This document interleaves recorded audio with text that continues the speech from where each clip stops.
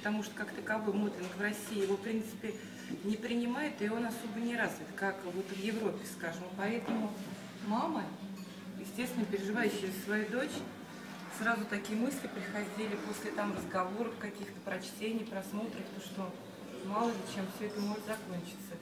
Но после общения с вами, после того, как она начала работать в Москве, как-то мы поняли, что ничего страшного в этом нет. И мы рады.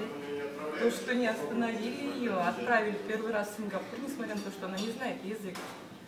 И вот результат, чего она сейчас достигла. Поэтому желание всем маму не бояться в первую очередь и не портить жизнь своим дочерям, которые могут потом спасибо не сказать.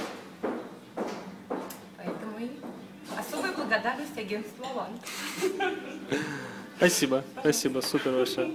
Ну все, поехали.